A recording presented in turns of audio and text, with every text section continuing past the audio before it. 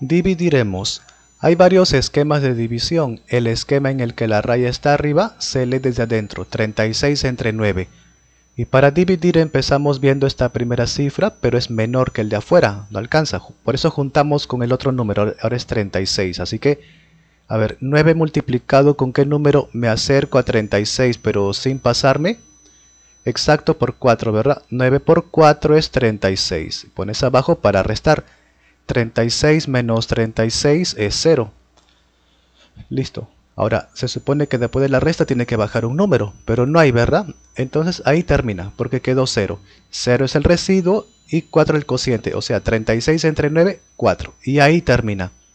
Si en vez de 0 hubiera salido otro número, podríamos hallarlo hasta los decimales, ¿de acuerdo? Y ejemplos de ese tipo en las pantallas finales.